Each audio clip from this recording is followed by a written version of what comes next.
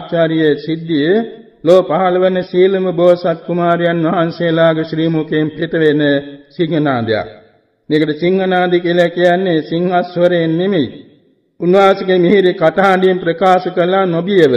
නොබියව ප්‍රකාශ කළ බැවින් තමයි මේක සිංහනාද කියලා කියන්නේ.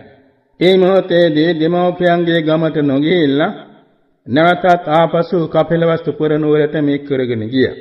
ඒ මොහොතේදී බොහොම ගෞරව සම්ප්‍රයුක්තව මේ දඩුවා පිළි අරගෙන පිය රජුරු සතපෙව්වා.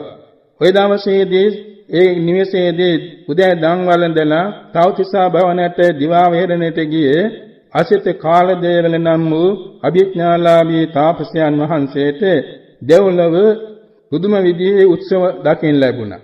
ප්‍රීති වාක්‍ය කීමෙන් දෙවි දේවතා උත්සව පවත්වනවා. පස්සේ අහලා තියෙනවා මොකද මේ අද දෙවියන්ගේ විශේෂ උත්සවය කියලා තියෙනවා තාපසයන් වහන්සේ තමුන්නාසේගේ දායක නිවසක් වෙන සුද්ධෝදන රජමාලිගාවේ මේ බුදු වෙන බෝධිසත්ව කුමාරයන් වහන්සේ නමක් පහළ වුණා.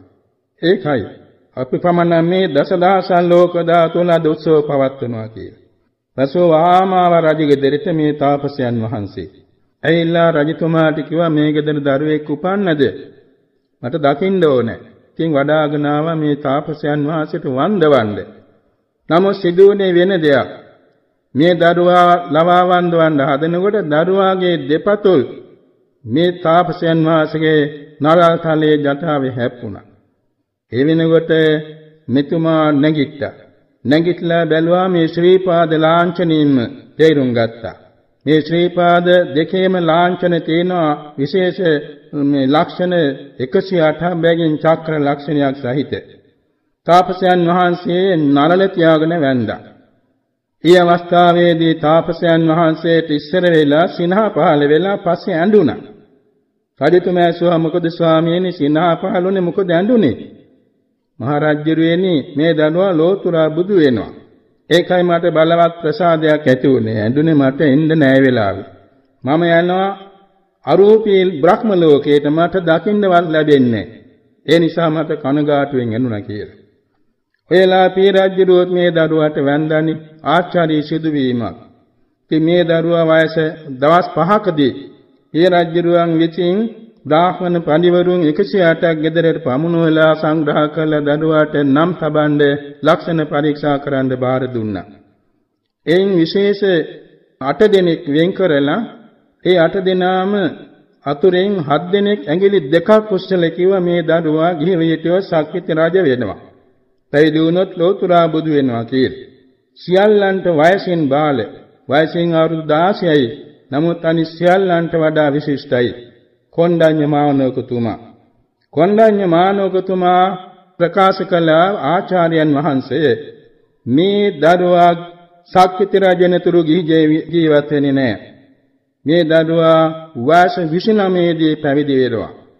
වයස 35 දී ලෝතුරා බුදු වෙනවා. මේ බලන්න සාධක කියලා අනිත්‍යයට පෙන්නවා. අනිත්‍යයට තේරුම් ගන්න බැරි වුණයි කාරණේ. මේ බලන්න නලල මැද්දේ තියෙන ඌරුන් රෝම ධාතුව. සක්විති රජ විනායට උරුණ රෝම ධාතුව පිහිටන්නේ රන් වම් පාටින් වමට කරකිලා යටියක් බලාගෙනයි පිහිටන්නේ.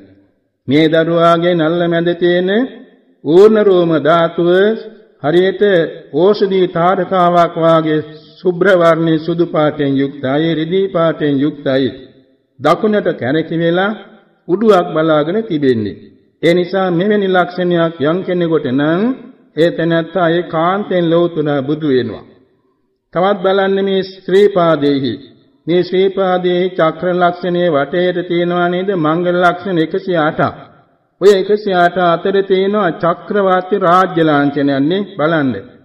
එයින් කියන්නේ චක්‍රවර්ති රාජ්‍ය පවා අභිභවාගෙන ලෞතුරා බුදු වෙන්න බවයි. මෙන්න මේක නිසා ආචාර්යයන් වහන්සේ මේ දරුවා කිසිසේත් සක්විති රජ වෙනකන් ඉන්නේ නැහැ ගිහි ගෙදර. ගිහි ගෙදර රාජ්‍යයටපත් වුණාට අභිනිෂ්ක්‍රමණය කොට පැවිදි වී ලෞතුරා බුදු වෙනවා. එනිසා මුළු ලෝකේතම විශාල අර්ථයක් සිද්ධ කරන උතුමෙක් වෙන බැවින් අපි නම් තබමු සිද්ධාර්ථ කියලා කියලා නම් තැබුවා. එදා පටන් සිද්ධාර්ථ නම භාවිතා වුණා. මේ දරුවා හරියට පෙරපස සඳ මණ්ඩලක් වාගේ වැඩුණා. කිසි අසනීපයක් නැහැ බොහෝම සැපසේ වැඩුණා. ශ්‍රී පාදයේ පටන් සිරස්තලයේ දක්වාම මහා පුරුෂ ලක්ෂණ 32ක් පිහිටා තිබුණා. අනුව්‍යංජන ලක්ෂණ 80ක් පිහිටා තිබුණා. දරුවා වයස 16 දී රාජ්‍යශ්‍රීයට පත් කරන්න පිය රජුරන්ට අවශ්‍ය වුණා. ඒ සඳහා සාරාසංඛ්‍ය කල්පලක්ෂයක් පෙරම් පුරාගෙන ආව යශෝදරා කුමාරිකාව තමන්ගේ මව්පස නෑනියන්ගේ සහෝදරතුමා වෙන සුප්‍රබුද්ධ රජුරුවන්ගේ දියණිය වෙන යශෝදරාවම විවාහපත් කිරීමට යෝජනා වුණා. නමුත් ওই වෙලාවේදී මව්පස ඥාතී පිරිස කියා හිටිය කිසිම ශිල්පයක් ඉගෙන ගත්තේ නැති මේ දරුවාට අපේ දියණිය දෙන්න බෑ කියලා. ඒ බව දැනගත්ත සිද්ධාර්ථ කුමාරයන් වහන්සේ පියාණන්ට කිව්වා පියාණෙනි මම ශිල්ප දක්වන්නම් හත් වෙනි දවසේ කවුරුත් එකතු වෙන්න කියලා. එතන සඳහන් වෙනවා පින්නතුනි මේ ਸਰව මිත්‍ර කියන ගුරුවරයෙක් ඉගන්වූ බවක් නෙමෙයි. එතන සඳහන් වෙන්නේ උපතින්ම සියල් ඉගෙනගෙන ඇවිල්ලා. ඒක නිසා එතුමා ඒ මව්පිය මව්පස පියපස සීලෝම ඥාතීන් 80 කුල දහසක් 80 කුල දහසක් රැස් වෙලා ඉන්න වෙලාවේ රාජාංගනේ පුදුම විදිහේ ශිල්ප දැක්වුවා. කිසිම කෙනෙකුට බෑ ඒ වාගේ ශිල්ප ශාස්ත්‍රය ඉදිරිපත් කරන්න. ඒ තරම් පුදුමාකාර ශිල්ප දැක්වීමෙන් සියල්ලම මවිත වුණා. ඊට පස්සේ ඉතින් විවාහ ජීවිතයටපත් වෙලා රාජ්‍යාභිෂේක කළා අවුරුදු 13ක්ම රාජ්‍යශ්‍රී වින්දා. තුන් ඍතුවල තුන් දිහේ ප්‍රාසාද ඇතුළේ ජීවත් වුණා. ඔය අතර හරියට අවුරුදු 28 පිරෙනකොට උන්වහන්සේගේ පැවිදි වීමේ ආසන්න කාලයේ බැවින් දෙවියන් විසින් මවාපානු ලැබුණ සතර පෙර නිමිති මාස හතරෙන් හතරට පළවෙනි දවසේදී උයන බලා සපිරිවෙරින් යද්දී දකින් ලැබුණ වය වෘද්ධිය ඒ කාලා බලවත් කම්පණයටපත් වුණ ධීරත්වත ජාතියා ජාතත්තාය වසත්තානං ජරා භවිෂති ඉපදීමට නිന്ദා වේවා උපන් නිසා මේ සියලු සත්‍යයන් ජරාව කියන විපත්තියක් ඇති වෙනව නේද කියලා කලකිරලා ආපහු ඇවිල්ලා මාස හතරක් ඒ ගැන යෝනිසෝ මනසිකාරයෙන් කල්පනාකාරී වුණා. තාමාස හතරකින් යනකොට දැක්ක අසනීපකාරී. ඉතින් අසනීපකාරය දැකලා තේ බලවත් සංවේගයක් ඇති වෙලා කිව්වා ධීරත්වත ජාතියා ජාතත්තාය වසත්තානම් ව්‍යාධි භවිෂ්‍යති. ඉපදීමට නිന്ദා වේවා උපන් නිසා මේ සත්‍යයන්ට රෝගාබාධ හැදෙනවා කියලා ආපහු ගියා. ඊළඟ මාස හතරකින් යනකොට දකින් ලැබෙන මෘත ශරීරයක් ඔසවාගෙන යනවා. එදත් බලවත් සංවේගයටපත් වෙලා කිව්වා ධීරත්වත ජාතියා ජාතත්තයිව සත්තානම් මරණම් භවිෂ්‍යති. ඉපදීමට නිന്ദා වේවා. උපන් නිසා සත්‍යයන්ගේ මරණය සිදු වෙනවා කියලා ආපසු ගියා. මේ මාස 8ක් තිස්සේ මේ ගැනම යෝනිසෝ මනසිකාරයෙන් කල්පනා කරමින් ඉන්නකොට හරියට අසලපුර පසළොස්වක් බොහෝ දවසක එවෙනකොට අවුරුදු 29යි වයස. උයනට යද්දී දකින් ලැබුණ සංසුන් ඉරියව්වෙන්. සුපිලිසං වේ අද පෙරවාගෙන වටපිට නොබලා උඩුබිම නොබලා බාඹයක් පාමන් පේන හැටියට ඇස් දෙක තබාගෙන බොහෝම සාන්තව සතෝ සම්පජානකාරීව ගමන් කරන පැවිදි උතුමෙක් දැක්කා. ඒ මොහොතේදී හිතුණා මෙන්න ජරා රෝග මරණ සියල්ල ඉක්මවා යන්න තියෙන එකම මාර්ගය පැවිදි වීමයි. මේක තමයි අපන්නක පටිපදාව. මම අද මේක අනුගමනය කරන්නේ මේ කියලා දා පුදුම ප්‍රීතියකටපත් වෙලා උයනට ගිහිල්ලා ඇඳෑ වෙනතුරුම උයනේ ඒ ගැනම කල්පනා කරමින් සැලසුම් කරමින් කාලය ගත කළා. හැන්දෑ වෙලා පන් පාසුලා ගොඩ එනකොටම කෙනෙක් ආවා අන්දවන්නේ. මේ කවුරුත්නේ සක්දෙව් රජුගේ අනින් විශ්වකර්ම දිව් පුත්‍රයාව කපු වේශයකි. දිව්‍යමේ වස්ත්‍රාභරණ හා දිව්‍යමේ ආභරණ හා දිව්‍ය ඔටුනක් පලන්දවල බොහොම ලස්සනට දෙව් රජ කෙනෙක් වාගේ සැරසුවා. ඊළඟට මංගල රථේ නැගල යන්න හදනකොටම ආරංචි ලැබුණා යශෝදරාවට දරුවෙක් ලැබුණා කියලා. උනාසේ හිත හිතා හිත අබිනිෂ්ක්‍රමණයට බාධාවක් වන බැවින් එක පාටම කියවුණා රාහුලෝ ජාතෝ බන්ධනං ජාතා. රාහුලියෙක් උපන්න බන්ධනයක් ඇති වුණා කියලා.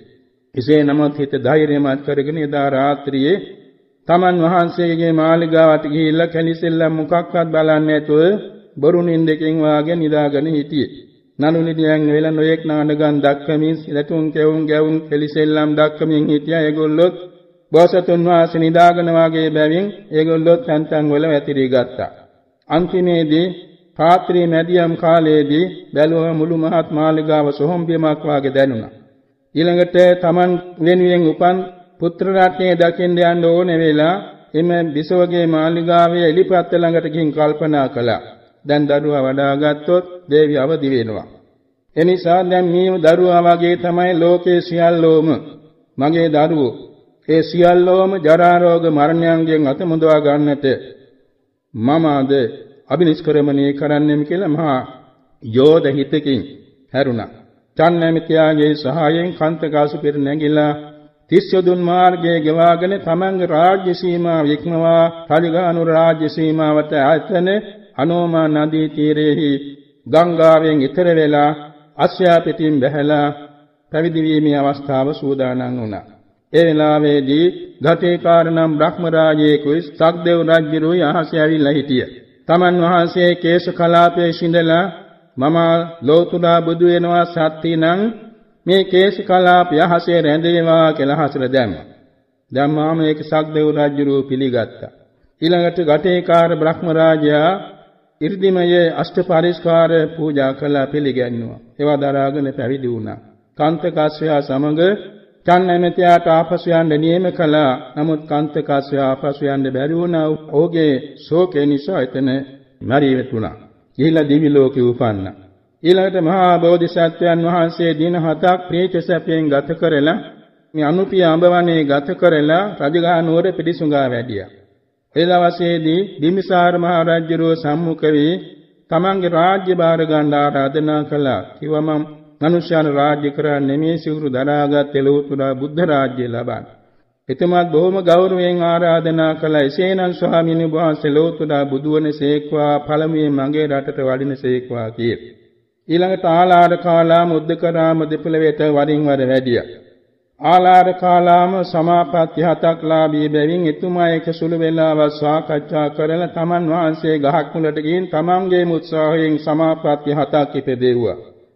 එතුමාත් ආරාධනා කළා තමන්ගේ සේනාසනේ නවතින්න. බාරගත්තේ නැහැ. බුද්ධකලා පුත්‍රයා වෙත ගිහිල්ලා එතුමා එක සාකච්ඡා කළා පමණයි තමන් වහන්සේගේම සිතේ තියෙන අදිෂ්ඨාන බලයෙන් අෂ්ට සමාපත්තියම ලැබුවා. අභිඥා බලන් ලබාගෙන තියෙනවා. එයත් එතුමාත් එතුමාගේ ආවාසයේ සේනාසනයේ රැඳී ශිෂ්‍යයන් අනුශාසනා කරන්න ආරාධනා කළා බාරගත්තේ නැහැ. මේ ධ්‍යාන සමාපatti බඹලෝ යවන්න පමණයි. අජරාමර වෙන්නේ නැහැ. එනිසා මම යනවා කිංකුස්සල ගවේෂීව බුදු බව මිනිස කියලා. ඒ කාලයේදී අෂ්ට කෙලමතාන යෝගයේ තමයි නිවන් මඟ කියලා බොහෝ දෙනා කියන බැවින් ඒකත් ඉහළ මට්ටමටම අනුගමනය කළා. කියන්නේ තේරුම් ගත නොහැකි බැවින් මැදුම් පිළිවෙත අනුගමනය කළා දවස් 15ක් අතරත දුෂ්කර ක්‍රියා කරන කාලයේදී මුළු සරුවාංගයම අතිශයින්ම කුස වුණා. තමන්ගේ ශරීරයේ ලේමස් ඔක්කොම වේලුණා. ඒ තරමට දුෂ්කර ක්‍රියා කළා. නමුත් මැදුම් පිළිවෙත අනුගමනය කරමින් දින 5ක් 15ක් ඇතුළත සකල ශරීරේ නැවත ප්‍රකෘතිමත් වුණා.